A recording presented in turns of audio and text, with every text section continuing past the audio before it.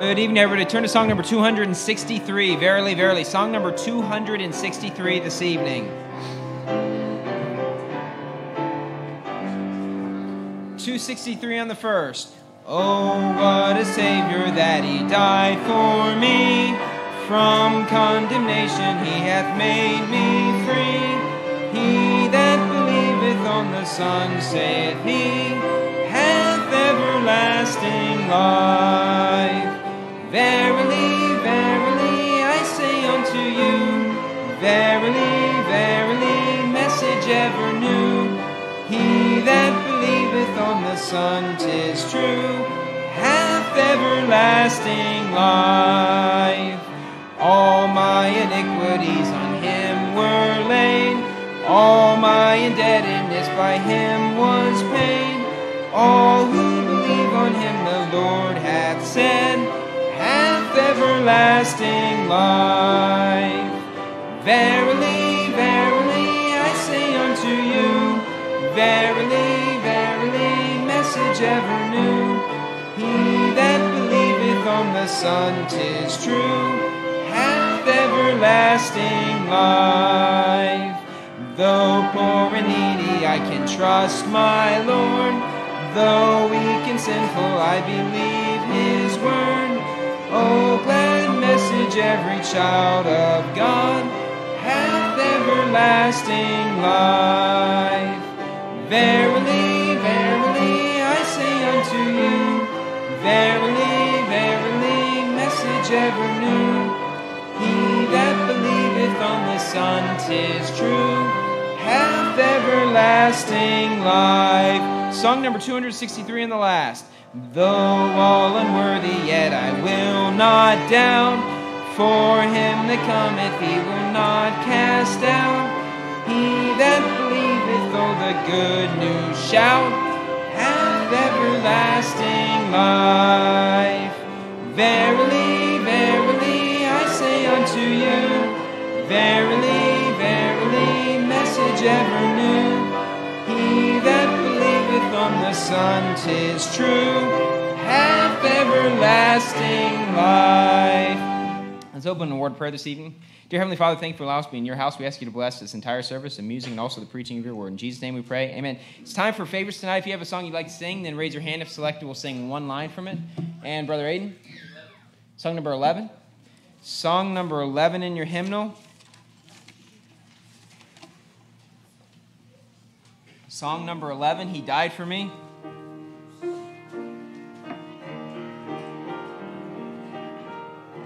Song number 11 on the first. I saw one hanging on a tree in agony and blood. He fixed his languid eyes on me as near his cross I stood. Oh, can it be upon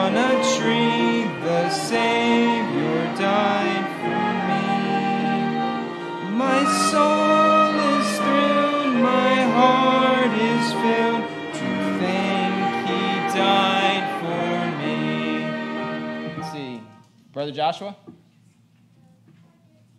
413, song number 413 in your hymnal. Stand up for Jesus, song number 413. 413 on the first. Stand up, stand up for Jesus, ye soldiers of the cross. Lift high his royal banner, it must not suffer loss.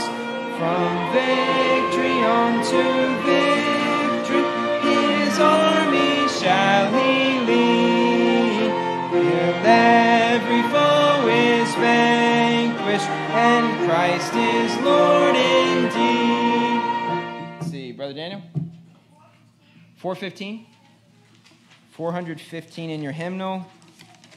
Victory through grace, song number 415.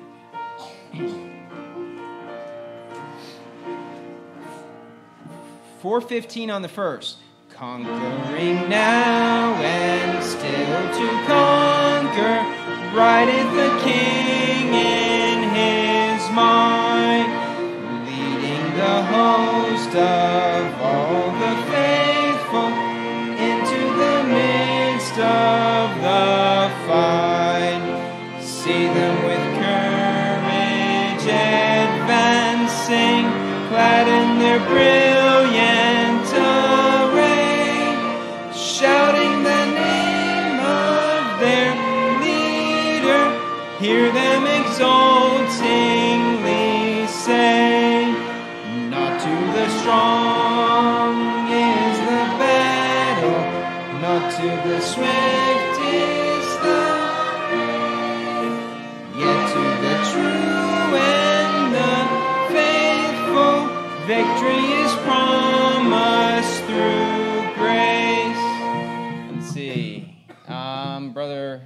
Montel Sr.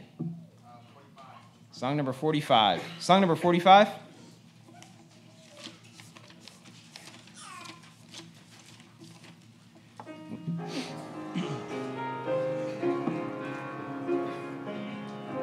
Song number 45 in the first. When I can read my title there to mansions in the skies, I'll bid my weeping eyes, and wipe my weeping eyes, and wipe my weeping eyes. I'll bid farewell to every fear and wipe my weeping eyes. Let's have Montel Jr. 356. I Must Tell Jesus, song number 356.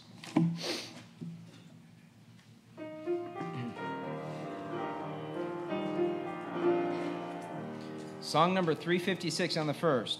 I must tell Jesus all of my trials.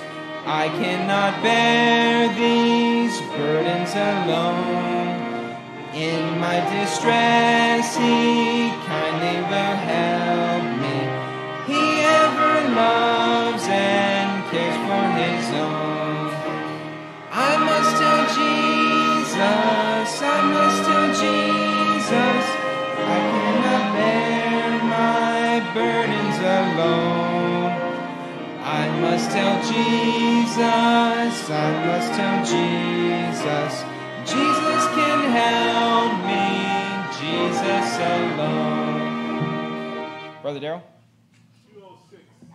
Song number 206. Oh, say, but I'm glad, song number 206.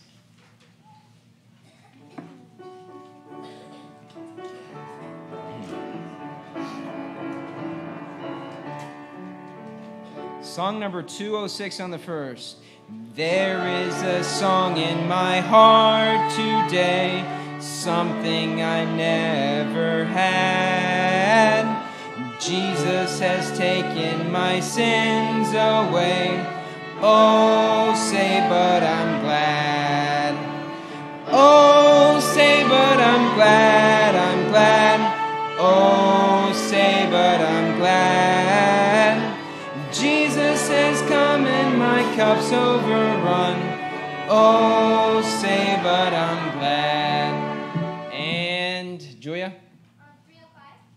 305. Yield not to temptation, 305.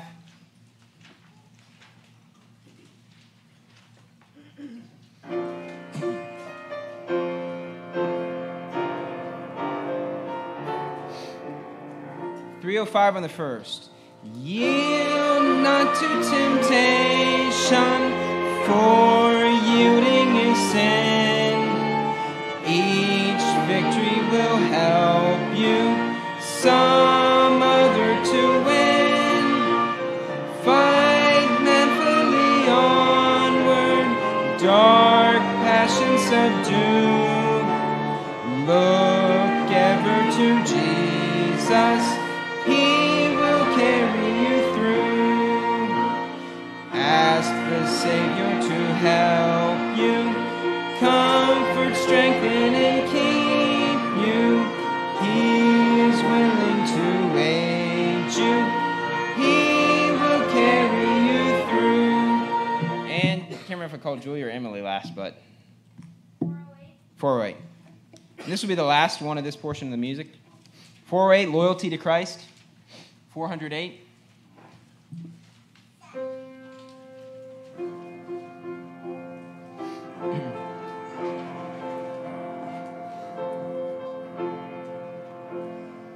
Four hundred eight on the first. From over hill and plain, there comes the signal strain. Tis loyalty, loyalty, loyalty to Christ. As music rolls along, the hills take up the song of loyalty, loyalty, yes, loyalty to Christ. On to victory, on to victory, cries our great commander on. We'll move at his command, we'll soon possess the land through loyalty, loyalty, yes, loyalty to Christ. All right, great singing this evening. Amen. All right, well, let's take our bulletins. We'll look at some announcements real quickly. If you do not have a bulletin this evening, just raise your hand and one of our ushers can get one for you. If you need a bulletin tonight, just put your hand up. We'll get one for you. The verse this week, Luke 14 23 says, And the Lord said unto the servant, Go out into the highways and hedges and compel them to come in, that my house may be filled. And that's a good verse there. We like that. If you open up the bulletin, we have our service time, Sunday morning service, 10:30 a.m. And we of course have a time of fellowship on Sunday mornings from 10 a.m. to 10:30 with coffee and donuts. Sunday evening service, 6 p.m. We're glad you made it back out for the evening service, and uh, we invite you to be with be with us on Wednesday night for the Wednesday uh, evening Bible study, and we will be in Ezekiel chapter 7 this Wednesday, Lord willing. I should be preaching every uh, service from here on, unless my wife goes into labor. So we're kind of on standby. She has a tendency to always, I think, the, I think we, we have five kids, and four out of the five kids, she's been in labor while I've been preaching. And uh, it's just kind of worked out that way. And uh, it's always earlier labor, so I can still come and preach. Uh, one of them, it was in our house. She was upstairs with the midwife, you know, in labor, and I was downstairs preaching the Wednesday night Bible study, and it was kind of crazy. For some reason, we had it was like early in the it was when we had church in the house, and we had like a big attendance that Wednesday night. We had like 30 people, and I was just preaching, and it was one of those sermons where you're just like, I don't even know what I was saying. I was just preaching. We just got through it and whatever. Uh, but so anyway, be praying for my wife. Maybe she'll go into labor on Wednesday, but I don't know. We'll see what happens. But uh, soul winning time Saturday morning church wide soul winning 10 a.m. Uh, additional soul winning times Thursday at two, Sunday at two. If you're running late, you can call us at 916-868-9080 and let us know you are planning to be there, but you're running late. That way we can get a map and all of that. And just so you know, I'm planning on preaching. I mean, the only reason I would miss if she's like literally having the baby, you know. But even if I have to come in while the offering is being taken and preach, I'll do that. So you have my word on that. I'm not going to try to miss any more services. I feel like I've been missing a lot with traveling and things like that. Uh, praise report, salvations for September 9. Salvations year to date 482, baptisms year to date 62. Uh, this morning, last week we had 177 in church. This morning we had 159. Last week we had 95 soul winners. Don't forget if you're a soul winner to fill out the communication card, uh, your salvations on your communication card, and don't forget to return your maps in the bins in the foyer. If you can help us with that, we of course are family integrated church. We have mother baby rooms, daddy rooms available for your convenience. If you have a child that's being distracting during the service, or if you need some privacy, we'd encourage you to head to those rooms as needed. If you look at the uh, announcements and upcoming events, uh, we of course have Family and Friend Day coming up this uh, weekend, and you should have in your bulletin three invitations for Family and Friend Day, and we just ask that you would give those out. This afternoon, before we came to church, we stopped by to get some coffee, and you know, my the kids were on it. They were like, "Give them a Family and Friend Day invitation." So we got a Family and Friend Day invitation, got a regular invitation, got a psychopath reprobates, and we handed it to the lady at the Starbucks, and she kind of looked like I've already got three of these type thing. You know, she kind of looked at me like, maybe I was like, no, you look like a psychopath. No, I'm just kidding. I didn't say that. But uh, you know, just give them out. You know, and I'm sure the people down the street are getting lots of them. But make sure you help us with that. And uh, big soul winning push Thursday 2 p.m., Friday 6 p.m. Saturday, 10 a.m. And uh, hopefully, you're motivated to get the seed out of the barn. So, if you can help us with that, don't forget on your communication card. It helps us to just kind of know how many people we're planning for. If you can mark if you're planning to be there. Of course, you can show up without marking it. But if you would mark it, it would help us. We would appreciate that. Next week, we start two series Sunday morning, when bad things happen to good people, and Sunday night, the times of Elijah. So I hope you get excited about that. Basic electrical class for young men. They have a class this Tuesday, September 11th at 7 p.m. Don't forget about that. Philippines mission trip, uh, choir practice, ladies weight loss meeting. They had uh, they have it every Wednesday, 6:15. Homeschool group, Spanish class, and PE class on the 13th. Field trip on the 16th. And don't forget to RSVP to my wife. Please don't forget to turn your cell phones off or place them on silent during the service so that they're not a distraction to anybody.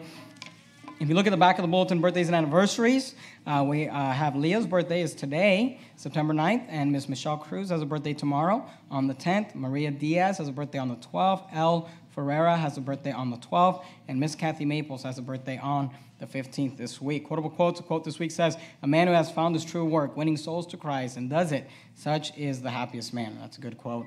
Free resource available in the foyer. Money Matters will get the offerings that have came in for the month of September. Uh, let's see. I think those are all, no, quick announcement. If you volunteered, and I apologize for this, is a short notice, but if you volunteered to help with the grilling, if I could just meet with you just for like two minutes, in the break room after the service. Uh, well, like five minutes after the service, we'll meet in the break room uh, for two minutes. So if you came to me and you volunteered for grilling next week, I just need to talk to you for like two, three minutes after the service. So if you could please uh, help me with that, we would appreciate it. And I think that's it. So let's go ahead and take our songbooks and let's go to page number 396. 396, and we're going to sing So Little Time. 396. And let's make sure we have a great soul winning week this week. And let's just remember what we're all about winning people to Christ and getting the gospel out. 396, so little time. We'll sing this out as we prepare to receive the offering tonight. Sing it out on the first. So little time, the harvest will be over. We reapers taken home. Report our work to Jesus, Lord of harvest, and hope he'll smile and that he'll say, Well done. Today we reap or miss our golden harvest. Today is given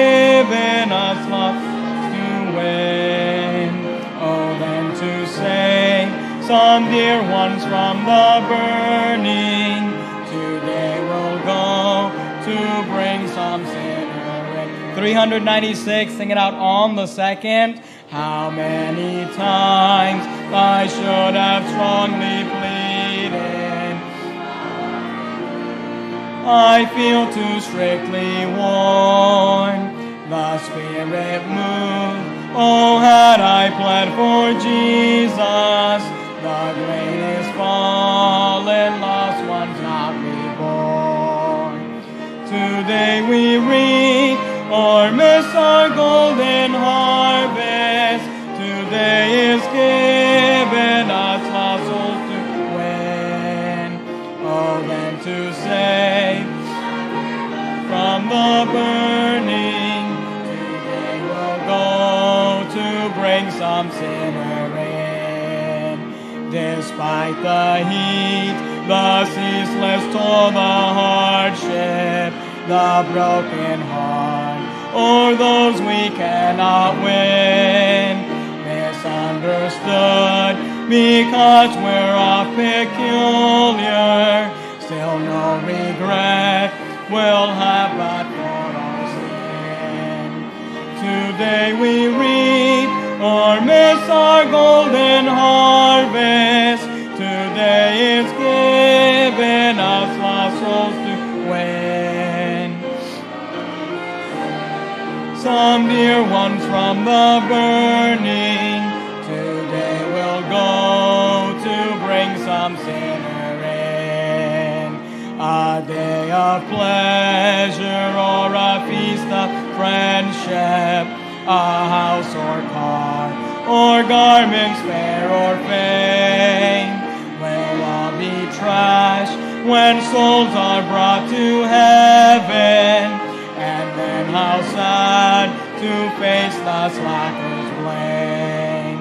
Today we reap or miss our golden harvest. Today is given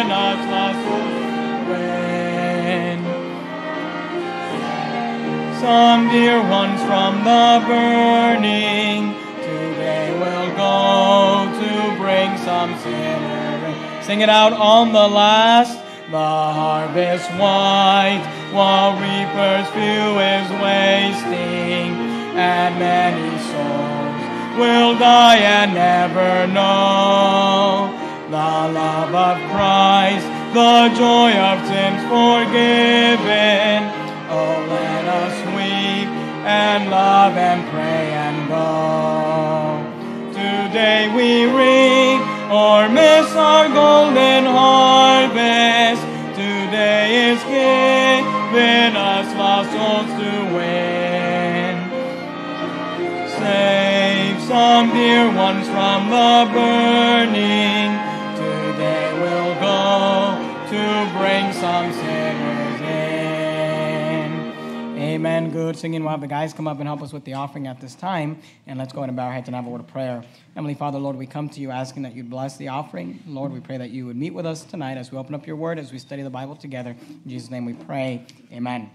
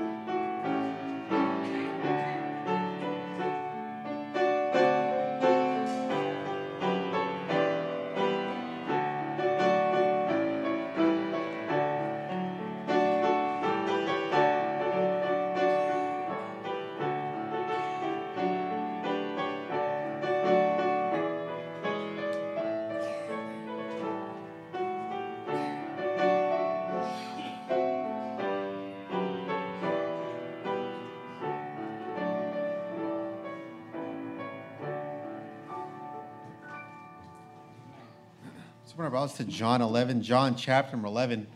If you need a Bible, put your hand up, and shall come by bring you a Bible. John 11. If you need a Bible, keep your hand up, and an usher will come by. John chapter number 11. We'll read, we'll read the entire chapter as our custom. John 11, beginning verse number 1. Now, a certain man was sick named Lazarus of Bethany, the town of Mary and her sister Martha. It was that Mary which anointed the Lord with ointment and wiped his feet with her hair, whose brother Lazarus was sick. Therefore his sister sent unto him, saying, Lord, behold, he whom thou lovest is sick. When Jesus heard that, he said, This sickness is not unto death, but for the glory of God, that the Son of God might be glorified thereby. Now Jesus loved Martha and her sister and Lazarus. When he had heard, therefore, that he was sick, he abode two days still in the same place where he was. Then after that he- saith he to his disciples, Let us go into Judea again.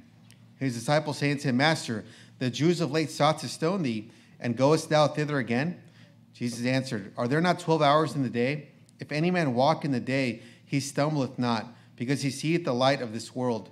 But if a man walk in the night, he stumbleth, because there is no light in him. These things said he, and after that he saith unto them, Our friend Lazarus sleepeth, but I go that I may wake him out of sleep. Then said his disciples, Lord, if he sleep, he, he shall do well. Howbeit Jesus spake of his death, but they thought that he had spoken of taking of rest and sleep.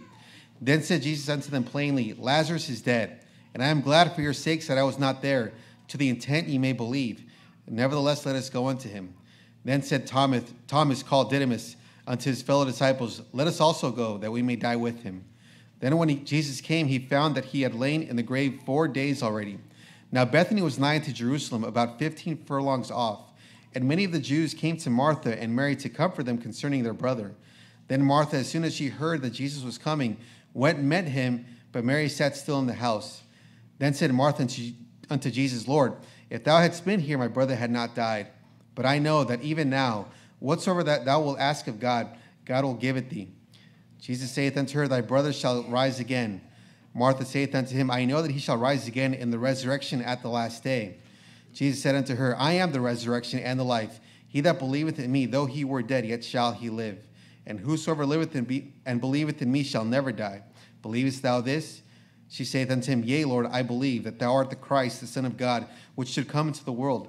And when she had said so, and when she had so said, she went her way and called Mary her sister secretly, saying, The master is come and calleth for thee. As soon as she heard that, she arose quickly and came unto him. Now Jesus was not yet come into the town, but was in the, that place where Martha met him. The Jews then which were with her in the house and comforted her, when they saw Mary, that she rose up hastily and went out, followed her, saying, She goeth unto the grave to weep there. Then when Mary was come where Jesus was and saw him, she fell down at his feet, saying unto him, Lord, if thou hadst been here, my brother had not died. When Jesus therefore saw her weeping, and the Jews also weeping which came with her, he groaned in the spirit and was troubled, and said, Where have ye laid him? They said unto him, Lord, come and see. Jesus wept. Then said the Jews, Behold, how he loved him. And some of them said, Could not this man which opened the eyes of the blind have caused that even this man should not have died? Jesus, therefore, again groaning in himself, cometh to the grave. It was a cave, and a stone lay upon it.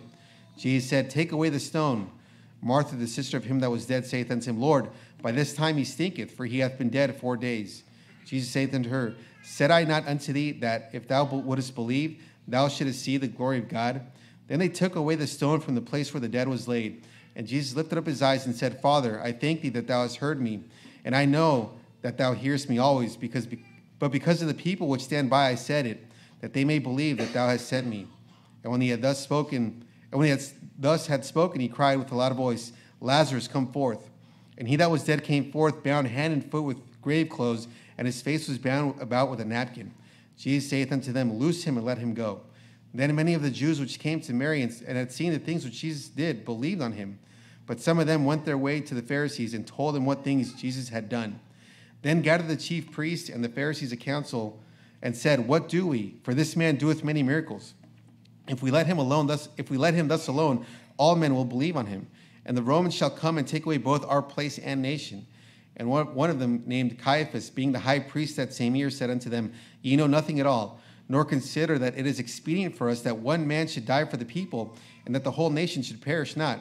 And this spake he not of himself, but being the high priest that year, he prophesied that Jesus should die for that nation. And not for that nation only, but that also he should gather together in one the children of God that were scattered abroad. Then from that day forth he took counsel together for, to put him to death. Jesus therefore walked no more openly among the Jews, but went thence unto a country near to the wilderness, into a city called Ephraim, and there continued with his disciples.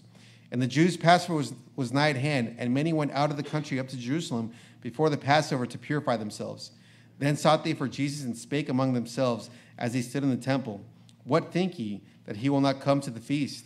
Now both the chief priests and the Pharisees had given a commandment that if any man knew where he were, he should show it, that they might take him. Let's pray. Dear Heavenly Father, I thank you for tonight, you God. I thank you for your house and for your word, of God. And I just ask you to be with our hearts, God. Just give us a tender heart to your word, God, and be with our pastor, God. Strengthen them, fill them with your spirit, God. We love you. In Jesus' name pray. Amen. Amen. All right, well, we're there in John chapter number 11. I'd like you to keep your place there in John 11 and go with me to the book of Acts just real quickly, just the next book over to the book of Acts. Keep your finger there in John because we're going to come right back to it. Acts chapter number 17. And tonight I am preaching a very doctrinal sermon. And the, the reason for the sermon, just to give you a little bit of, a, of context, there's this fake pastor in uh, New York who's trying to act like he's like us and like our movement or churches of like faith that we fellowship with. His name's Tyler Doka, and he's got a joke of an evangelist uh, named Justin LeBlanc. And these guys, I, I, don't even think their church is a year old. I think it's like six months old or eight months old. And they've just came out with heresy after heresy uh, since their church started. And they just recently had this five week series where it was just literally five weeks of heresy. And just back to back, there's a sermon called Why Every Christian's Not a Saint, you know, like we're Catholic or something, and why every Christian's not going to get raptured. And, you know, all of those sermons were bad. But one of the sermons, which in my opinion was the worst one, was a sermon entitled Not Every Christian Escapes the Lake of Fire. And they're literally teaching that there are some Christians that are going to spend some time in hell during the millennial reign. Now, this is not new to these people. The first time I heard this uh, teaching, it actually came out of Kent Hovind. Uh, you know, out of all people, I heard about Kent Hovind teaching that some Christians were going to go to hell. I know there's a Baptist church, I think in Texas, that it's really just a cult, but they teach that Christians are going to go to hell. And now you've even got independent Baptists, uh, even you know people who want to associate themselves as what we would call ourselves the new IFB or whatever it might be, that want to teach that you know Christians are going to go to hell. So tonight I just want to uh, preach a sermon just refuting this, and I'm preaching a sermon entitled "Why Every Christian Escapes the Lake of Fire." And why no Christian is going to ever go to hell if they're saved. And the sermon is really exposing Tyler Doka and Justin LeBlanc. But I, I want to just begin with this idea and just kind of begin with the root cause. And we saw this verse this morning uh, with our soul winning uh, sermon, but uh, I want you to notice it again. Acts 17, if you look at verse number 21, Acts 17 and verse 21. And you know, the Bible talks about marking and avoiding those who teach things contrary to the doctrine which we have heard and the things that we have believed. And when people creep in with new doctrine and try to influence, uh, you know, believers, we as pastors need to stand up and rebuke that and refute it and teach from the Word of God why it's wrong and why what they're teaching is not right. But I want you to notice where this spirit comes from, where this, this the, this heresy comes from. I feel like it's really explained in Acts 17 21 when Paul again was at Mars Hill and he said this For all the, the Bible says, For all the Athenians and strangers which were there spent their time in nothing else but either to tell or to hear some new thing. And look, when you hear this heresy coming out of these young preachers that are all a bunch of novice preachers. They're not, Tyler Doka is not even qualified to be a pastor, and we'll talk about that later. You know, when you hear this preaching, when you hear the flat earth, when you hear the oneness, when you hear the not all Christians being saints, not all Christians getting raptured, not all Christians, you know, uh, escaping hell, just realize that it comes from this young punk attitude of these young guys who are just spending their time in nothing else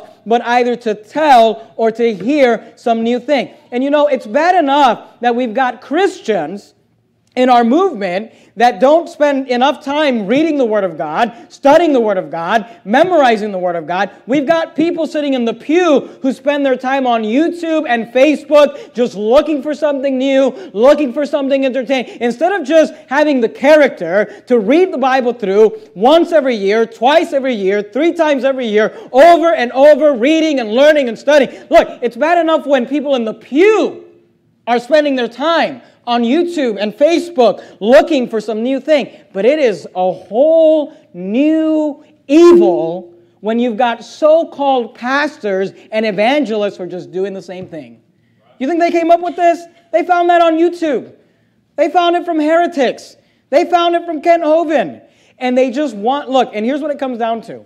They don't want to put in the effort of actually starting a church, of actually knocking the doors, of actually reading the Bible, of actually studying the Word, of actually developing a following of people who listen to your preaching because you're actually teaching them the Word of God, because you're actually helping them, because you're actually giving them something. They want to just kind of cut that and just, you know, have a claim to fame with some new little doctrine, and they all they do is they spend their time and nothing else but either to tell or to hear some new thing. And it's, it's always why it's these new young pastors, right? And they and say, look, just why don't you just preach the Bible?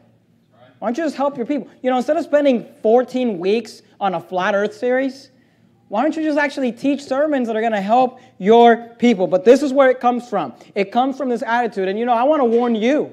Be careful about developing this attitude where every sermon just has to be some brand new doc. You know, the Bible says there's no new thing under the sun. And you know, you say, oh, Pastor, you know, you preached on soul winning uh, this morning. And we'll preach on soul winning again. It's good to hear the same things over and over. It's good to be reminded. It's good to, you know, hear the old paths.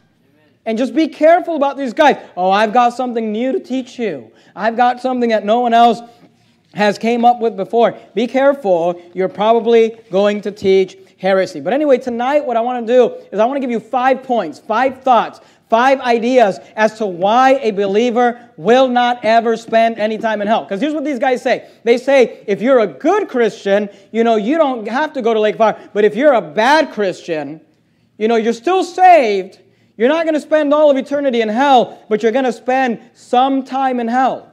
And it depends how bad of a Christian you were. And I want to just explain to you tonight why it's impossible for a believer to go to hell, even temporarily. Now, go back to John chapter number 11. And when you get to John, do me a favor, put a ribbon or a bookmark or something there, because we're going to go back and forth between from John a lot tonight and look at a lot of references from John chapter number 11. Let me give you five thoughts if you'd like to write these down. We're talking about why a believer will not go to hell. Point number one is this if a believer goes to hell, if a believer goes to hell even temporarily, that means that the believer experienced death. If a believer goes to hell even temporarily, that would mean that that believer experienced death. Now, the problem with that is that Jesus promised that those who believe on him for salvation would never experience death. Are you there in John chapter 11? Look at verse number 21. John chapter number 11 and verse number 21.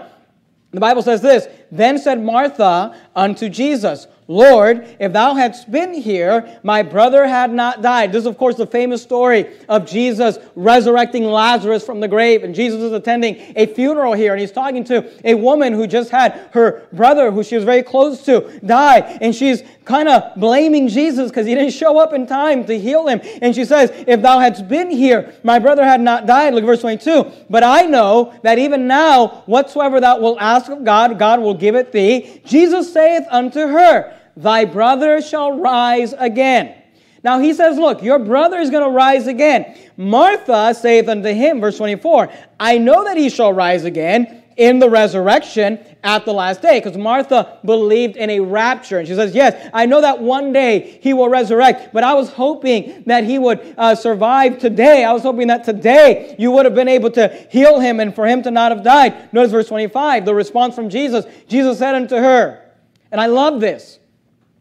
Because sometimes we don't understand, you know, he, she says, I know that one day in the resurrection, he will rise again. And sometimes we speak like that. Well, you know, because of salvation. And Jesus kind of corrects that. And he says, We're not talking about one day in the resurrection. He says, I am the resurrection.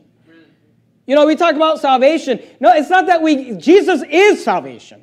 He says, I am the resurrection and the life. He that believeth in me, though he were dead, yet shall he live. Notice verse 26 And whosoever liveth and believeth in me, don't miss these words, shall never die. And then he says, Believest thou this? You say, well, why would Jesus say that whosoever liveth and believeth in me shall never die? Keep, keep your place there in John. Go with me to the book of 2 Timothy, 2 Timothy chapter number 1. You find all the T books. You've got them all clustered together. 1st, 2nd Thessalonians, 1st, 2nd Timothy, Titus, 2 Timothy chapter number 1. He says, whosoever liveth and believeth in me shall never die. See, the Bible teaches when you get saved, you will never experience death. To be absent from the body is to be present with the Lord. When you take your last breath here on earth, they will say that your body died, but you didn't die. The last breath you take here on earth, you'll take the very next breath in heaven if you're saved. You go directly to be with God in heaven. And he says, Look, Jesus said, Whosoever uh, liveth and believeth in me shall never die. And then he asks this question Believest thou this? And that's really the question of the ages. That's the question we ask every person when we're out soul winning. Do you believe this? Do you believe in Jesus? 2 Timothy chapter 1, look at verse 9. 2 Timothy chapter 1 and verse 9. Excuse me, 2 Timothy chapter 1, verse 9. Notice what the Bible says. Who hath saved us and called us with an holy calling, not according to our works, but according to his own purpose and grace, which was given us in Christ Jesus before the world began but is now made manifest by the appearing of our Savior, Jesus Christ. Is it clear what we're talking about? He's talking about our Savior, Jesus Christ. He said, Who hath saved us, who hath uh, called us with an holy calling. Notice what he says, verse 10 Who hath abolished death and hath brought life and, don't miss this, immortality to light through. How do you get it? How do you, how do you abolish death? And how do you get immortality? It's done through the gospel. When you receive the gospel, you uh, the Bible says that death was abolished. O death, where is thy sting? O grave, where is thy victory? See, a believer will never experience death. You may die one day and your body will die and we'll say, oh, he died, but you never died. You're in heaven. And, it, and what's interesting is that God doesn't refer to the corpse of a believer as dead. The Bible often refers to it as simply being asleep. And you say, why? Because the idea there is that when someone sleeps, they're going to rise again. And you know, one day I will die and they will put me in a casket and they'll say he's dead. But you know what? That body's not dead, it's just asleep.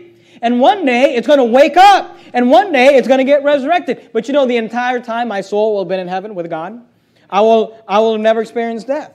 You say, why is that? Because here's what you need to understand. And here's what a lot of Christians, sometimes new Christians, and there's nothing wrong with being a new Christian, but if you're a new Christian, maybe you shouldn't standing, be standing behind a pulpit and preaching doctrine like you know something. But what people don't understand, go to Revelation. Keep, do me a favor, put your, keep your place there in 2 Timothy so you should have your place in John and in 2 Timothy. We're going to come back and forth between those two verse, uh, two uh, passages, and go to Revelation chapter 20, last book of the New Testament, Revelation chapter 20. Here's what you need to understand: Hell is death. Being in hell is being dead. We often think of death as a physical death. And yes, one day the body dies. But what the Bible refers to as death is when someone is in hell. So when your body dies, but your soul goes to heaven, you never died, you went to heaven. He that liveth and believeth in me shall never die. That's what Jesus said. Your soul, your body goes to sleep, your soul goes to heaven. But when someone dies and goes to hell, now they're dead. Are you there in uh, Revelation chapter 20? Look at verse number 11. Revelation chapter 20 and verse number 11. The Bible says this, and I saw a great white throne. And what's funny about these guys is that they basically, they make the great white throne to believers, they make the great, and they make the judgment seat of Christ basically the great white throne as well. You know, it's like they no understanding of just the different judgments and what's going on. The Bible says, And I saw the great white throne, and him that sat on it, from whose face the earth and the heaven fled away, and there was found no place for them. And I saw, I want you to notice the terminology here, and I saw the dead.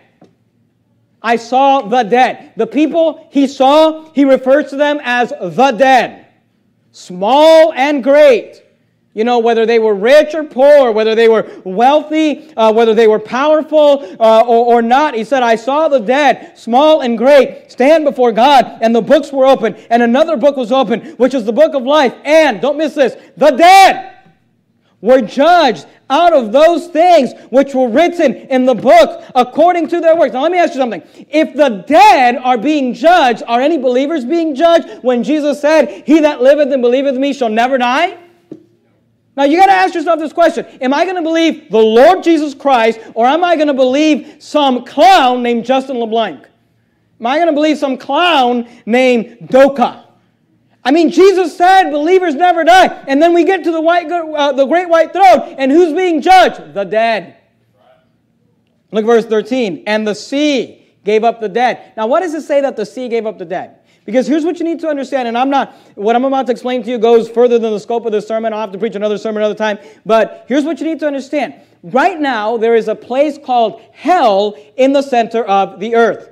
When unbelievers die, their soul goes to hell immediately. But their body does not go to hell. Their body gets buried, just like the bodies of believers. When believers die, their bodies get buried, their soul goes to heaven. At the great white throne, what happens is that the souls of unsaved people are brought out of hell and their bodies are resurrected and they are united and they are judged. And then God takes the hell that is in the center of the earth and he throws it into the lake of fire, which is in the outer parts of it's in the outermost darkness. You need to understand that hell and lake of fire are basically the same thing, but they're two separate locations right now. There's hell in the center of the earth, and then there's the lake of fire where people will spend eternity forever.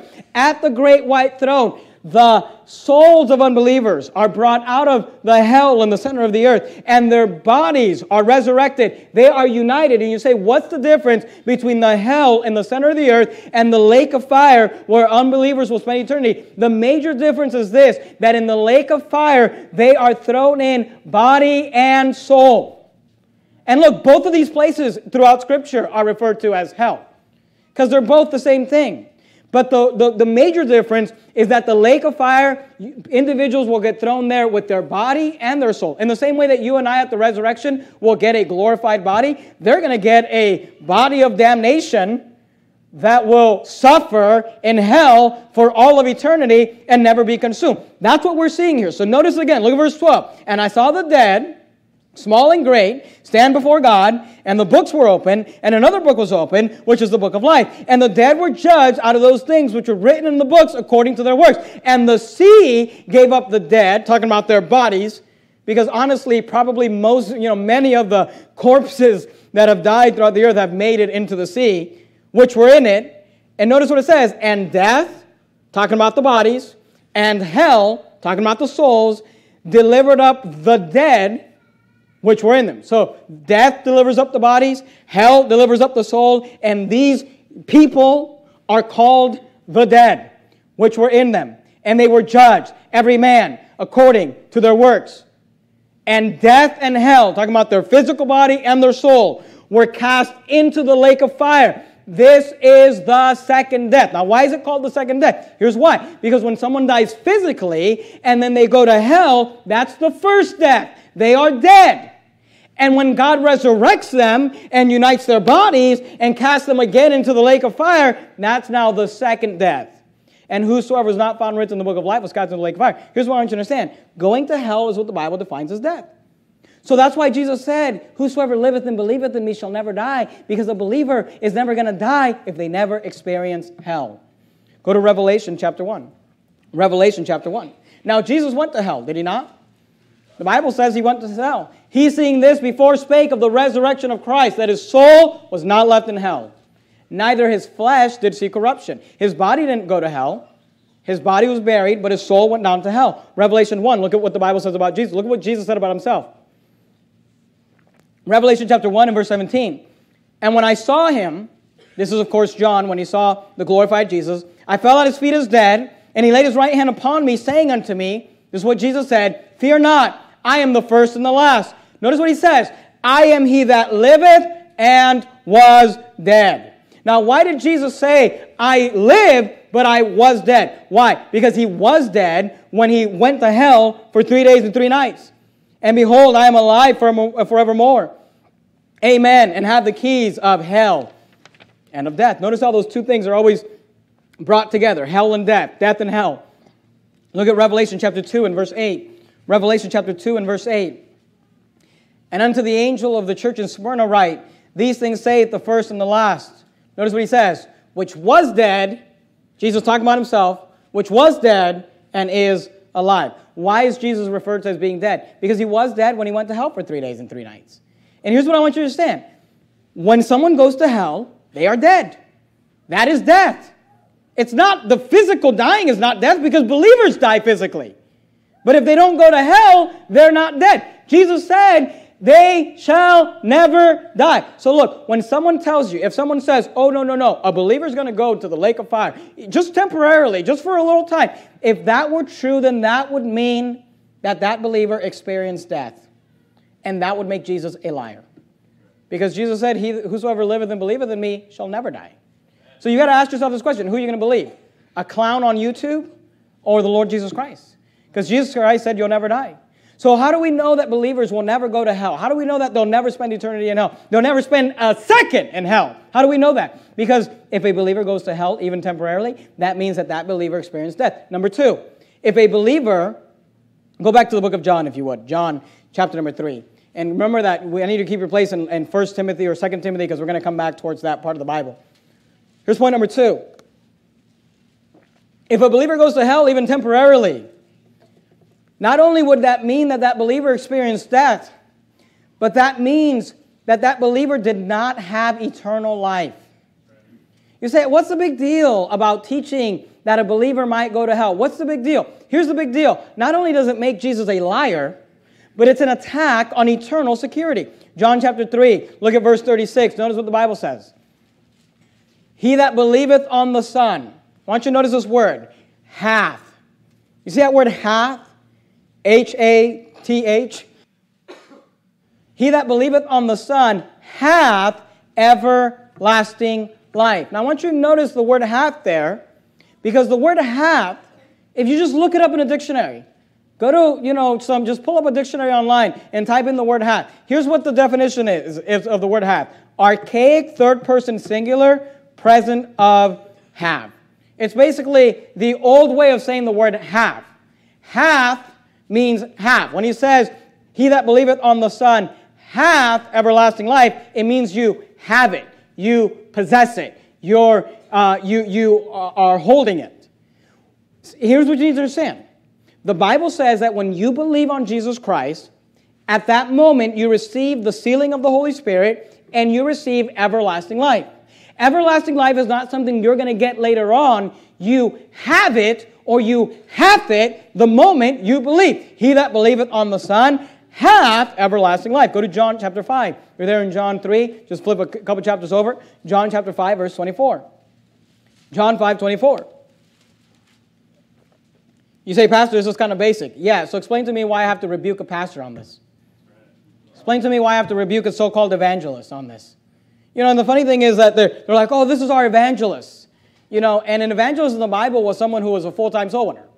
You know, you know, or it was a missionary that was being paid. You know who's going to be an evangelist? Brother Stuckey. You know, go to Manila and win souls full time. You know, they've got their evangelist and he like works a, a, a full time job or something. And it's like, look at us. We're so, you know, we're doing so great. I even have an evangelist. It's like, well, I've got 70 of them. I mean, we got 70 people that go out soul winning and they all work full time jobs or, you know, don't get paid from the church. If that's what you call an evangelist, we've got like 70 of them. We've got 80 of them. You know, an evangelist in the Bible is a missionary is actually getting paid. But would you expect them to understand that when they don't even understand that believers don't go to hell? John 5 24, notice what it says Verily, verily, I say unto you, he that heareth my word. And by the way, remember, that's the seed. You need the word of God to get saved. He that heareth my word and believeth on him that sent me, don't miss this, have everlasting life have everlasting life. They have it, they possess it, they own it. So let me ask you this What did the Bible define as hell? Death. See, the, the, the, re, the reason that these two, you know, what's the opposite of hell? Heaven. What's the opposite of life? Death. If you go to hell, you're dead. If you go to heaven, you're alive. It's everlasting life. So let me ask you this. If God promised me everlasting life, life that will last forever, life that will never end. And then he says, Yeah, but you know, you weren't that great of a Christian, so just for a few years, you're going to die. You're going to go to hell. You know what that would make? That would make God a liar. In whom you also trusted, right? I mean, I mean, we're trusting in him for salvation. Is he just going to lie? In hope of eternal life, which God that cannot lie promised before the world began. So look, if a believer goes to hell, not only would that mean that they experience death, and that would make Jesus a liar, but if a believer goes to hell, even temporarily, that means they did not have eternal life because that life was interrupted and they died. Number three, go, go, look, you're there in John 5 24. I said number one tonight. If a believer goes to hell, even temporarily, that means that the believer has experienced death. Said number two, if a believer goes to hell, even temporarily, that means that they did not have eternal life. Here's point number three tonight. If a believer goes to hell, even temporarily, that means that that believer experienced the wrath of God. John 5 24. We're just, we're just there. Look at it. Verily, verily, I say unto you, he that heareth my word and believeth on him that sent me hath everlasting life, and shall not come into condemnation Look, if you've got a red letter edition Bible, these words are in red because this is what Jesus said. Jesus said, if you hear my word and you believe on him that sent me, not only do you have or have everlasting life, he says, along with that, you shall not come into condemnation. Now, look, if you go to hell, aren't you condemned? He says you'll never experience condemnation. Why? Because you're passed from death unto life. Go to, go to 1 Thessalonians. Keep your place there in John. Go to 1 Thessalonians. If you kept your place in 2 Timothy, you're just going to go backwards past 1 Timothy, past 2 Thessalonians to 1 Thessalonians chapter 5. 1 Thessalonians chapter 5. See, the Bible says when you get saved, you shall not come into condemnation. 1 Thessalonians chapter 5 and verse 8 says this 1 Thessalonians 5 8. 1 Thessalonians 5 8 says, But let us who are of the day be sober, putting on the breastplate. I want you to know these words putting on the breastplate of faith. Isn't that what saves us? Faith? Believe on the Lord Jesus Christ, thou shalt be saved. For by grace are you saved through faith. All right? Putting on the breastplate of faith and love, and for an helmet, the hope of, notice, salvation. See how these things go together? We're talking about somebody who's saved. They put on the breastplate of faith and they put on the hope of salvation. Now, notice verse 9. Notice what the Bible says to those who have put on the breastplate of faith and have put on the hope of salvation. Verse 9 For God hath not appointed us to, don't miss this word, wrath. You know that according to the Bible, a believer will never experience the wrath of God? For God hath not appointed us to wrath, but to obtain salvation. If you're saved, you're not appointed to wrath. If you're saved, you're not going to come into condemnation. For God hath not appointed us to wrath, but uh, to obtain salvation by our Lord Jesus Christ, who died for us, that whether we wake or sleep, whether you're awake during the rapture or whether your body is asleep in the grave, we should live together with Him. I mean, is it any more clear? Look, Christians are not appointed to wrath. For God hath not appointed us to wrath, but to obtain salvation. Go back to John chapter 3. John chapter 3. Now in John 5 24, he says, and shall not come into condemnation. In 1 Thessalonians 5 8, he says that we're not appointed unto wrath. I want you to remember that word, wrath. John 3 36. We already saw John 3 36 earlier, but let's look at it again. He that believeth on the Son hath everlasting life. And he that believeth not the Son shall not see life. Now look, he that believeth on the Son, that's someone who's saved, they have or hath everlasting life. And he that believeth not the Son, someone that did not believe, they're not saved, shall not see life. Why will they not see life? Because they're going to die and go to hell, which is death. Notice what it says. Excuse me. But, but, notice this the wrath of God abideth on him. The wrath of God abideth on who? It, on, it abides on those that believe not the Son. Look, unbelievers have the wrath of God abiding on them. There is a, a cell in hell with their name on it, and unbelievers are appointed unto wrath. And look, what is more, the culmination of God's wrath, you know what it's called? Hell. It's the lake of fire. So here's the problem. If a believer goes to hell, you know what they experience? The wrath of God. The Bible says that we are not appointed unto wrath. So, and you say, well, this isn't even that complicated. I know. But yet, this is the joke of Christians. And you say, well, why does it bother you? You know what bothers me? Because these people are trying to act like they're one of us. It bothers me because they're trying to act like, oh yeah, you know, I'm post-trib, pre-wrath. I believe the reprobate doctrine. I'm just like Pastor Anderson. I'm just like Pastor Jimenez. I'm just like Pastor Merrill. But then they come out with this stupid garbage, you know, just week after week after week of stupidity. And you, you listen to this stuff and you actually, have, I mean, are these people even saved? Do they even understand what salvation is? And yes, it needs to be rebuked. Yes, someone needs to stand up and just make them look like the foolish children that they are. They need to sit down and shut up and get under an actual man of God that can teach them just some basic doctrine, like Christians aren't appointed unto wrath, like Christians will never die, like if you go to hell, you didn't have eternal life. Go to 1 John chapter 3. 1 John chapter 3. 1 John chapter 3. And you know, here's what they're going to say they're going to say that I'm going to go to hell for preaching this sermon. I mean, they're going to go to hell because they don't understand salvation. They need to get saved. 1 John chapter 3. If you start at the end of the New Testament, you start at the book of Revelation, you head back, you have Jude, 3rd, 2nd, and 1st John. 1 John chapter 3. I said number one tonight, if a believer goes to hell even temporarily, that means that the believer experienced death. If a believer goes to hell even temporarily, that means that they did not have eternal life. If a believer goes to hell even temporarily, that means that the believer experienced the wrath of God. Here's point number four. If a believer goes to hell even temporarily, that means they are being punished for sin. That means that they're being punished for sin. Hell is a punishment of sin. Now, here's the problem with that. When you got saved, your sins were taken away. 1 John chapter 3, look at verse 5. 1 John chapter 3 and verse 5. 1 John chapter 3 and verse 5 says this, and ye know that he was manifested. Notice what it says, talking about Jesus, that he was manifested. Why was he manifested?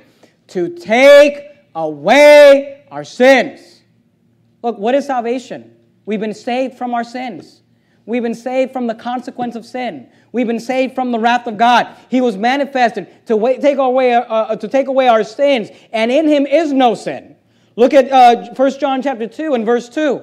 1 John chapter 2 and verse 2. And he is the propitiation.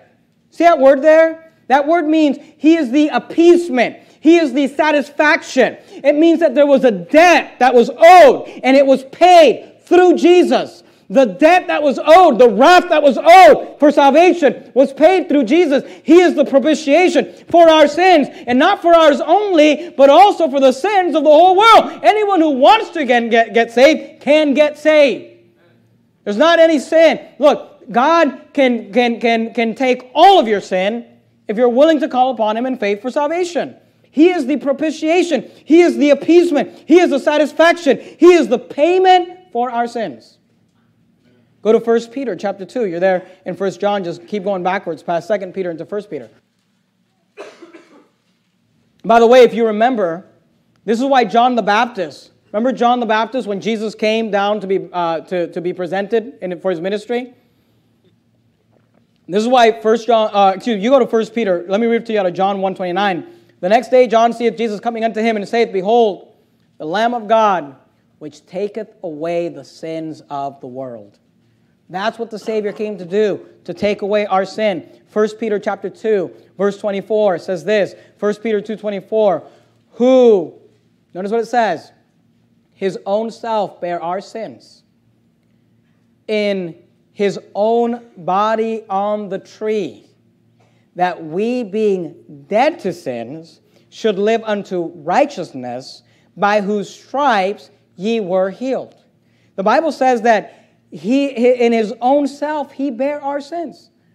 That's why the Bible says, For he who knew no sin, Jesus, who knew no sin, became sin for us that we might be made the righteousness of God in him. This is why I say that these people are probably not saved. I don't think they understand the concept of salvation. See, at salvation, when you got saved, there was an exchange that was made. See, I was a sinner condemned to hell. Someone had to pay that sin. And Jesus comes along. You say, well, why did Jesus have to die to pay for my sins? And here's what Jesus said I couldn't die for your sins. I couldn't go to God and say, God, I love my wife. I love my children. I will die and go to hell in their place so they don't have to. See, the problem with that is that I can't take their place because I have my own sins to pay for. They can't take my place because they have all, their, all their sins to pay for. What it took was the sinless Son of God who had no sins, and then he died and he went to hell, not to pay for his own sins because he had no sins. He died to take our sins. But it's more than that. Not only were our sins removed from us and placed on Jesus Christ, he who knew no sin became sin for us, that we might be made the righteousness of God in him. Not only were our sins removed and put on him, but also his righteousness was removed and placed on us, that we might be made the righteousness of God in him. Because, see, it's not enough to not have sin to get to heaven, you must have the righteousness of God. This is what salvation is. It's an exchange was made. He took my sin, I took his righteousness. Have you ever thought about why, did why didn't Jesus just show up as a 30 year old and die? Why did he have to live, you know, that life? He lived that life because all those good things he did, all that righteousness that he did, that perfect life, when he was tempted in every point, yet as we, yet without sin, that whole life was placed upon us. What does that mean? Here's what that means. When God looks down at me, he doesn't see my sin, he sees the righteousness of Christ. When God looks down at me, He doesn't see my good works, He doesn't see my bad works, He sees the righteousness of Christ. So you say, oh, well, you're going to die and go to hell because of your sins, even temporarily. Here's my question What sins? They're gone. They, he took them, he paid, they've been paid for. You're trying to pay for a bill that's already been paid. He is the propitiation for our sins. He did it himself in his own body. He bare our sins. By his stripes ye are healed. Go to Psalm 103. Psalm 103. Open up your Bible just right in the center. You're more than likely found the book of Psalms. Psalm 103. Psalm 103, look at verse 12. Psalm 103 and verse 12 says this Psalm 103, verse 12. As far as, as far as, he's saying, as far away as the east is from the west, so far hath he removed our transgressions. Now, what's our transgressions? That's our sin, right? Sin is the transgression of the law. So far, he hath removed our transgressions from us. How far away did God remove the transgressions from us? He removed it as far as the east is from the west. Now, here's what I understand Tyler Doka and Justin LeBlanc are flat earthers. So I'm about to lose, I mean, I lost them a long time ago, but I'm really going to lose them now. But I want you to look at this spherical earth, all right? As far as the east is from the west, you know why God didn't say as far as the north is from the south? Here's why. Because if I start traveling, you know, from the United States of America and I start traveling south, now this doesn't work on a flat earth, but a flat earth is stupid. Okay? If I start traveling south on a circular earth like the Bible teaches, you know that I will eventually go around because it's a ball, right? That's what they say. I will go around and eventually I will no longer be traveling south, I'll be traveling north. South eventually catches up to north. What if I start traveling north? Well, eventually I'll go around and I'll be traveling south. I'll be in the south. The north eventually catches up to the south. But you know what the beautiful thing about east and west is that no matter which way, if I start traveling uh, west or if I start traveling east, east will never catch up to west. East will never, if, if, you'll, you'll never eventually get, you know, I traveled east enough and now I'm, I'm in the west. No, there'll always be an east. The east and the west will never catch up to each other. And this is what, this is what the Bible says. As far as the east is from the west, so far hath he removed our transgressions from us. You know what salvation? God, the, the, the, what the Bible is teaching here is that God separated you from your sins so far, they will never catch up to you. He's forgotten them. He's put them in the eh, behind him. He's, he doesn't remember them anymore. That's what salvation is. But yet these people want to tell us, oh no, you're saved by believing in Jesus Christ, but he's going to take your sins and throw you into hell, maybe for five minutes, maybe for 10 years, maybe for a thousand years. He's going to, no, no, no, you don't understand salvation because look, if I go to hell, if any believer goes to hell, that means they got punished for their sins. And, and at salvation, my sins were removed. Now look, we understand on this earth, we sin, and on this earth, God punishes us. On this earth, we be not deceived. God is not mocked. For whatsoever man soweth, that shall he also reap here on this earth. My son, despise not the chastened Lord, neither beware of his correction. For whom the Lord loveth, he correcteth, even every child whom he receiveth. On this earth, you've got a heavenly father who's going to give you a spiritual spanking when you sin on this earth. But he's not going to send you to hell because your sins have been removed as far as the east is from the west. So here's the thing if a believer goes to hell, even temporarily, that means they're being punished for sin. The Bible says that our sins have been removed. And death and hell is a consequence of sin. For the wages of sin is death. But the gift of God is eternal life. You see how those things are opposite? Death, eternal life. Revelation 20, 14. You don't have to turn there. Go, go to 1 Corinthians chapter 3. 1 Corinthians chapter 3. Matthew, Mark, Luke, John, Acts, Romans, 1 Corinthians. While you turn there, let me read for you Revelation 20. And death and hell were cast into the lake of fire. This is the second death. See, the consequence for sin is hell which is death. Why do we go to, to hell? Why do we die? Because of sin. Wherefore, as by one man sin entered into the world, and death by sin. And so death passed upon all men, for that all have sinned. But when you're saved, your sins have been removed from you, so you don't go to hell. So these guys say, oh no, believers are going to go to hell just temporarily. Why? Well, because they weren't good Christians. Because they had sin. What sins? When I got saved, all God sees is the righteousness of Christ on me. 1 Corinthians chapter 3. Now, here's what I want you to understand. The Bible teaches there are two judgments at, in the end, in what we would call the end times. One judgment happens before, I believe it happens, and some people disagree with this, and that's fine. I believe it happens before the millennial reign, and it's called the judgment seat of Christ. This is when believers are judged by Jesus Christ, not for their sins, we're going to see that here in a minute. But for their work, the things they did on earth. And this judgment will determine your rewards during the millennial reign of Christ. At the end of the millennial reign, there's the great white throne when the dead are judged. Now, according to Tyler Doka and his joke of, a, of an evangelist, you know, both of these judgments are basically for believers and they're both to just send you to hell. You know, I guess believers don't even get judged. You know, it's, it's, they're just both for believers. And here's what's funny. They go to this passage, 1 Corinthians chapter 3, and they explain that this passage means that people are going to go to hell. Let's look at it together. 1 Corinthians chapter 3, look at verse 11. For other foundation can no man lay, 1 Corinthians 3, verse 11. For other foundation can no man lay than that is laid, which is Jesus Christ. That's where it all begins. We, you get saved, and the foundation is laid through Jesus Christ. Amen. Now notice what it says in verse 12. Now, if any man, now the any man here is the worker, right? This is the person that's going to get judged. And by the way, the Bible tells us in other places that when you stand at the judgment seat of Christ, you stand alone. Every man will give an account for the things that were done in his body. So here's what they say. They say, now here's what the Bible says. Let me show you what the Bible says. Now, if any man, that's the worker, build upon this foundation gold, silver, precious stones, wood, hay, stubble, every man's work. So it's not the worker.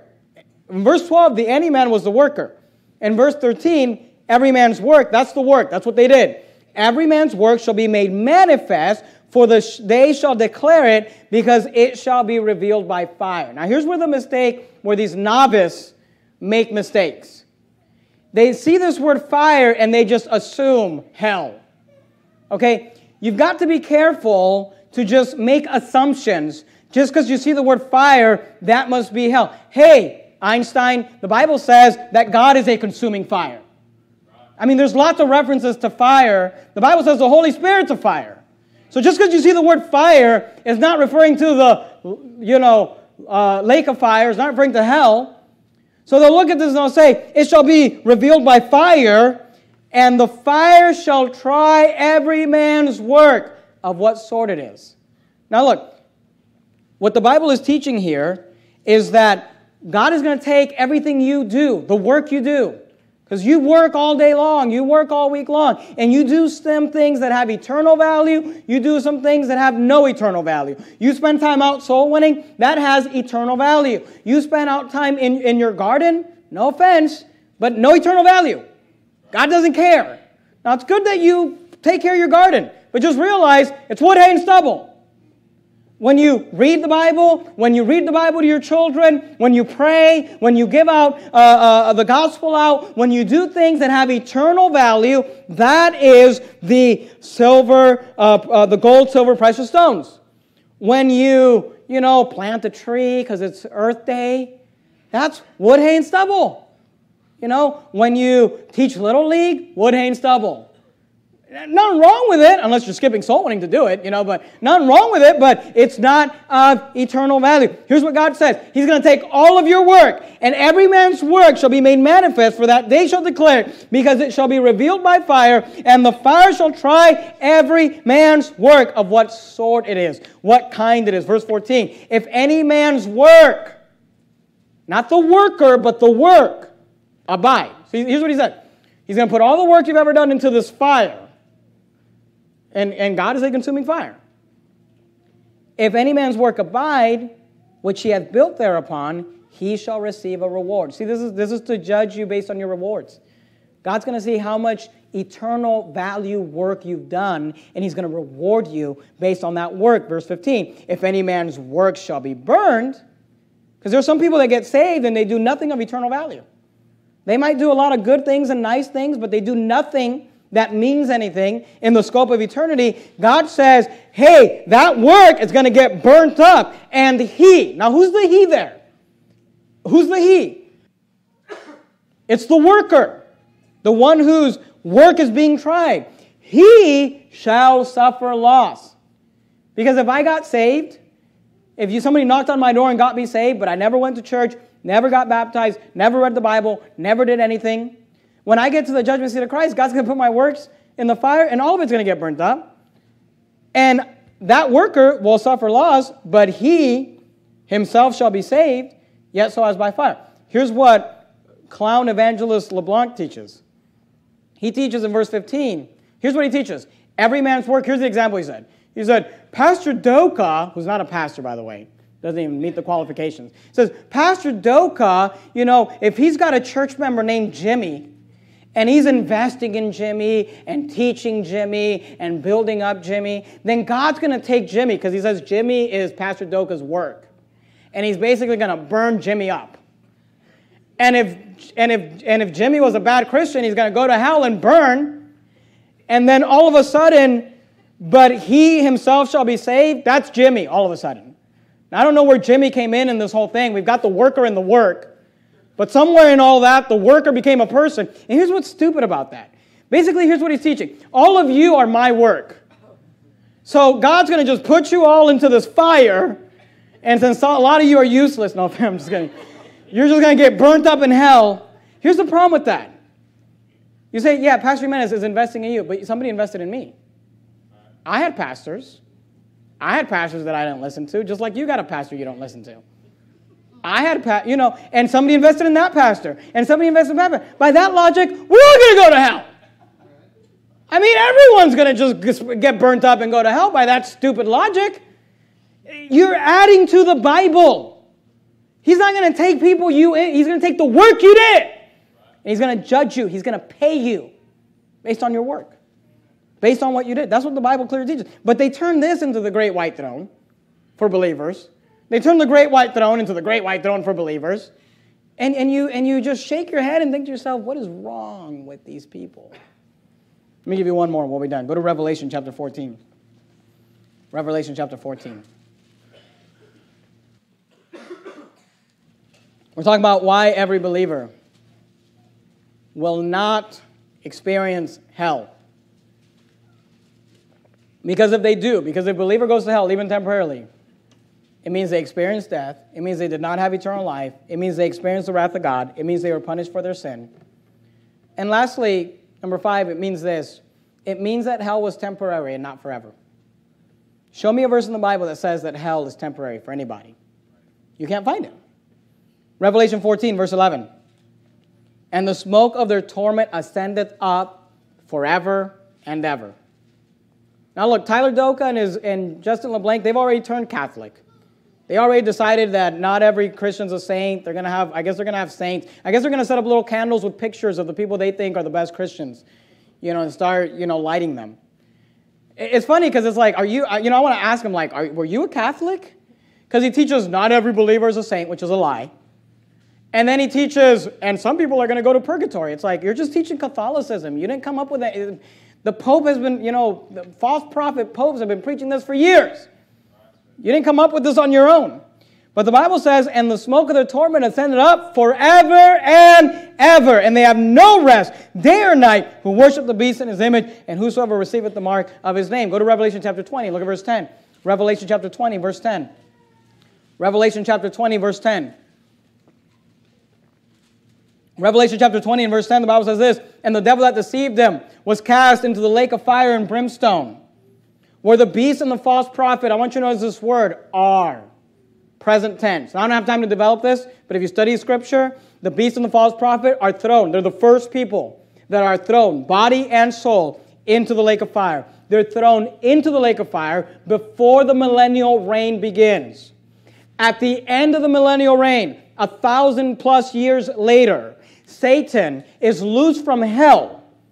hell. Satan is in hell in the center of the earth the, the beast and false prophet are thrown into the lake of fire. The first people thrown into the lake of fire, body and soul. Satan is loose from hell and he's allowed to wage war against God. That's the battle of Gog and Magog. Jesus basically whoops him, and now he's casting Satan into the lake of fire. Notice what it says. And the devil, Revelation 20, verse 10, that deceived them was cast into the lake of fire and brimstone, where the, feet, where the beast and the false prophet, who were thrown in over a thousand years earlier, are. They're still there.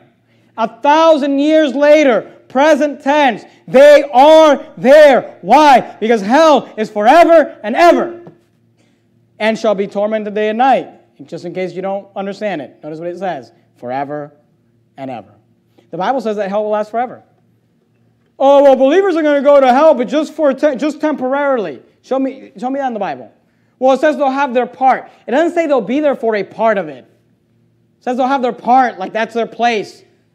And these people say, oh, they'll be there temporarily. Then that means that hell wasn't forever. That would make God a liar. I made the word of God a liar. Go to Luke 16, where, where this last place we'll look at tonight. Luke 16. Not only does it mean that hell was temporary, it means that someone was able to go to hell and get out of hell. Once you go to hell, you don't get out of hell. You get out of hell for a short amount of time when God takes you out of hell just to formally, hell is like the holding, and then He takes you out and then He formally judges you and sends you to lake of fire. You know, and that and, and, and that's it. Nobody gets out of hell. There's no, you know, the only get out of hell free card, you better, you know, take that. His name is the Lord Jesus Christ, and you better do it before you die.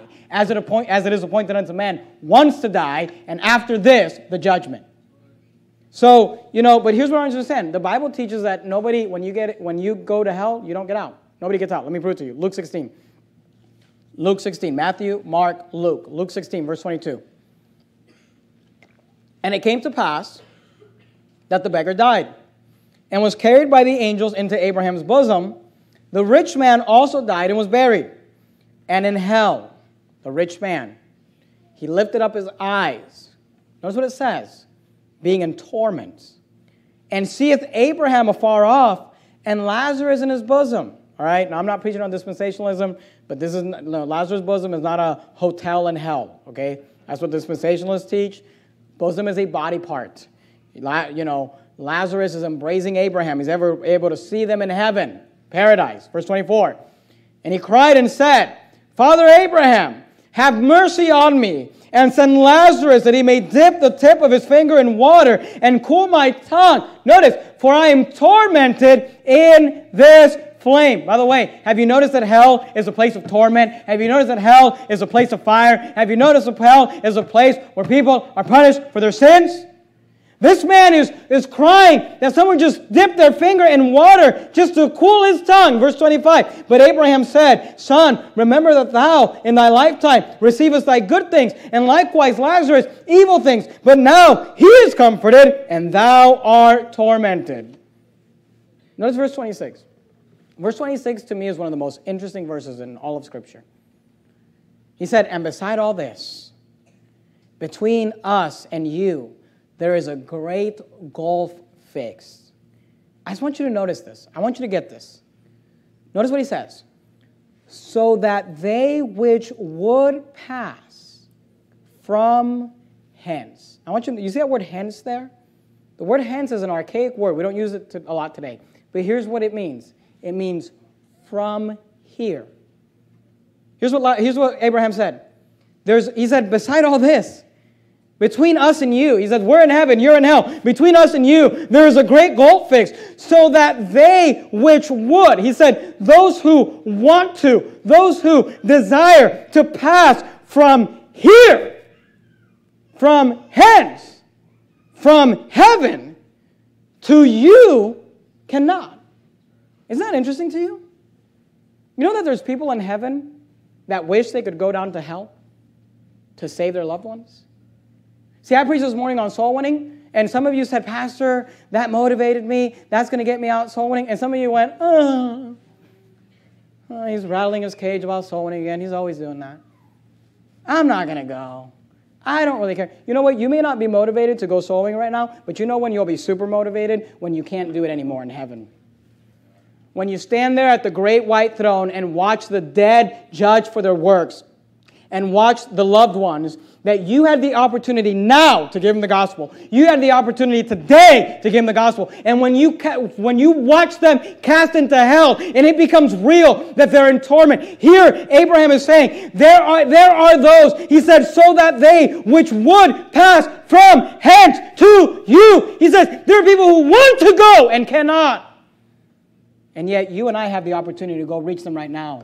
And we're too lazy, too apathetic too tired, too distracted, too backslidden. You may not want to go to soul winning now, but you'll want to go soul winning in heaven. But God says, too late.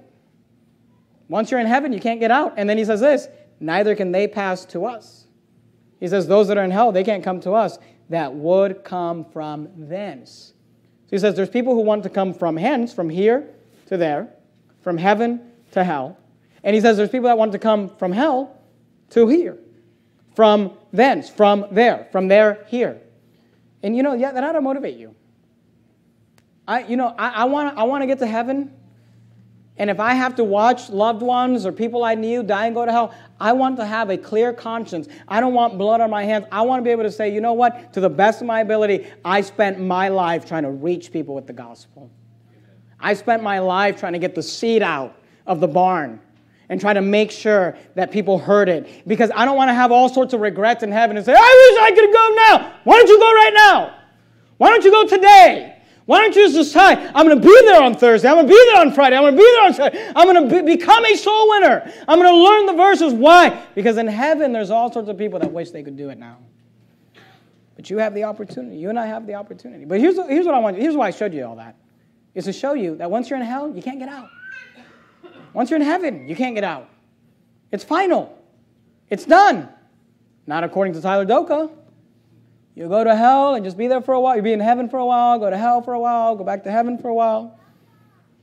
If believers go to hell even temporarily, that means that hell was temporary and not forever. So, look, there, there's probably 20 other points we could make to disprove this false doctrine. Let me just review them real quickly. A believer who goes to hell, even temporarily, experienced death, did not have eternal life, experienced the wrath of God, was punished for their sin, and that means that hell was temporary. Now, let me give you some takeaways. Those are the five points. Let me give you three takeaways real quickly and we'll be done. What can we learn from this episode of Tyler Doka and Justin LeBlanc? Well, here are three takeaways I want you to just consider. Number one, don't trust a pastor who does not meet pastoral qualifications. Don't trust a pastor who does not meet pastoral qualifications. This is just one more episode to show us why the qualifications are there. And you say, does it matter that he doesn't have, he has one kid? The Bible says children, okay? Every word of God is pure. God could have said child if he wanted to. He said children because he wanted to have multiple children. You say, well, why does it matter? Well, here's the thing. Everybody thinks, well, why does it matter? Till the guy that's not qualified teaches oneness. Till the guy that's not qualified teaches flat earth. Till the guy that's not qualified teaches believers go to hell. And believer, every, you know, till the guy that's not qualified, called C.H. Spurgeon, writes an entire heresy called dispensationalism. You say, it doesn't matter. Well, obviously, it seems like it matters. So when you see these guys who just want to bypass the Word of God, and look, maybe, maybe the qualifications of children are there just because it takes time to have children and God wants you to mature a little bit. Maybe the qualifications are there because God does not want you to be a novice that is lifted up with pride, which is exactly what these guys are. So, what can we learn from this? Here's what we should take away from it don't trust a pastor who doesn't meet the pastoral qualifications. Because it seems like all the guys that want to bypass. I mean, what I've learned from this is that it's extremely important who I lay my hands on. That's what the Bible says. Lay not your hands suddenly on no man, neither be partaker of other men's sins. It's extremely important who I lay my hands on because we need to be able to look at these men, look at their wives, look at their character, look at their doctrine, look at their lives, and make sure that they're actually who they say they are. So when you've got a guy who obviously doesn't meet the qualifications, and he's just going to go ahead and do it anyway, don't trust that guy. So here's what we, here's the takeaways. Don't trust a pastor who does not meet the pastoral qualifications. Here's takeaway number two. Don't trust a flat earther. Don't trust a flat earther. I mean, you know, when, the, when Tyler Doka came out with Flat Earth, we're all like, whoa, we don't want anything to do with you. And everybody was like, you guys are so mean. You know, and look, I'll be honest with you, I try to have mercy on people. When he came out with the, that stupid Flat Earth thing, you know, I had somebody walked up to me after service said, Tyler Doka preached Flat Earth. And this is what I, I, I, I don't remember if it was brother Oliver or who it was, somebody was telling me this. And literally this is what I was saying, and I was being stupid, all right? I'm, I'm confessing my faults to you. I said, you know, being a flat earther makes you an idiot. Being a flat earther makes you a moron. But, you know, maybe we should just try to be kind, or maybe we should just try to show some mercy. Maybe we can help him out and get him straightened out. And then, and then whoever it was was like, oh, he attacked you in the sermon because you've got to glow up. And I'm like, oh, wow, it's on now. You know what I mean? Like, man, you know, I'm trying to defend him a little bit. He's like, yeah, you got a flat earth. And he was mocking, you know, the pastors who've got a, who've got a globe. You know what we learned? Here's what I, here's all I'm telling you. And this is anecdotal evidence, but here's what I've learned. Every flat earther is into, is into major heresies. It's not a coincidence. You say, well, is it that being a flat earther makes you go into heresy? I think what it is is this. If you're stupid enough to believe in a flat earth, you're stupid enough to believe just about anything. I mean, if you're, if you're a moron enough to watch videos on YouTube and they convince you that the earth is flat, you'll probably watch anything and believe it. So, look, when someone tells you they're a flat earther, just don't trust them. Because that's probably the least of their problems. They're probably into all sorts of stupidities. So, what are the takeaways? Number one, don't trust a pastor, not meet pastoral qualifications. Number two, don't trust a flat earther. Here's takeaway number three don't trust a man who's just a little too manicured. you say, what are you talking about? I've never really taken a look at Tyler Doka till this week, but I was sitting there watching his video and I, I just thought to myself, this guy plucks his eyebrows. I mean, you know, it's just a little too trendy. Uh, no, guys don't have eye, you know, guys have eyebrows like this. I'm thinking to myself, this guy plucks his eyebrows. He's got his beard, but it's trimmed so that like it looks like a goatee, but there's enough hair. You know, it's just his little trendy t-shirt. Here's all I'm telling you, know, here's all I'm telling you. When you look at a guy and he's just a little too metrosexual, I'm not saying he's a fag. I'm not saying he's a queer. But when they're just a little too into themselves, be careful. You say, how, you know, look, pastors should be ugly. Pastors should be angry. Pastors should be hairy. I can't grow a beard. I just make up for it with my eyebrows. You know, when a guy is just a little too into his looks, be wary. Be wary. Because maybe that shows you that there's some pride there. Maybe that shows you that there's a problem with pride. You know, these guys get up and they're all skinny and they've got their little flashy shirts on. It's like, good night. And then and they're teaching all this stupid garbage. And you say, you know, Pastor, you're being mean. You, these people need somebody to put them in their place. Because here's the thing when they came out with the flat earther, you know what we said? We said, we want nothing to do with you because you're going to make us look stupid. And then weeks later, not all Christians are saints. Not all Christians get raptured. Not all Christians escape. And it's like mission accomplished. You, make the, you made us look stupid. Exactly what we said you were going to do. We said you're going to make us look like an idiot. Now we all look like idiots. So you know what? Somebody needs to stand up and just rebuke it and say it's stupid. We don't believe it. That's not what the Bible says. And just a basic education in the Word of God would help you to understand that when you get saved, you get saved from hell. You don't go to hell. So, yeah, we rebuke Tyler Doka. I rebuke Justin LeBlanc, or whatever his name is. And you know what? We need to just stand against these people because look, you know what? You know what Satan's trying to do? This oneness thing, this flat earth thing, this, you know, saints thing, and Christians going to hell. He's trying to make churches like ours look stupid. And if we just stand back and do nothing and don't refute it and don't defend it, then everyone's going to think, oh, that new IFB, they're all flat earthers. They are, they, that new IFB, they, they think Christians are going to go to hell. No, no, we don't. No, we don't. We believe the Bible. We believe the Word of God. We must always stand for the truth. Let's bow our heads and have a word of prayer. Heavenly Father, thank you, Lord, for your Word. Thank you for the Bible. And Lord, I realize that a lot of the things that we are teaching today are just basic, basic things. But Lord, I, I pray that you would just help us to, to just be grounded in the Word and to not be these Christians that are cast about with every wind of doctrine, to not be these Christians that are just constantly looking for some new thing, some new idea to push, something to just make us look smarter than the rest. Lord, help us to be content, to just know and study the old paths, the doctrines that have been taught to us. And Lord, when these men stand up and they try to act like they're with us, and then they teach heresy, help us to realize that it is our jobs to rebuke them sharply. It is our job to show where they're wrong. And we don't hate individuals, but we have to stand for the truth. And Lord, I pray that you'd help these men, Lord, uh, to just back down and to back off and to just quit because they don't deserve to be in the positions they're in. We love you. In Jesus' name we pray.